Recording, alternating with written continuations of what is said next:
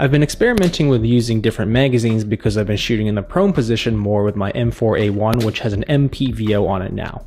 And so it's no surprise, it's pretty common knowledge that using the 30 round magazines, although they do give you more capacity, they usually hit the bottom of the floor or, you know, of the ground.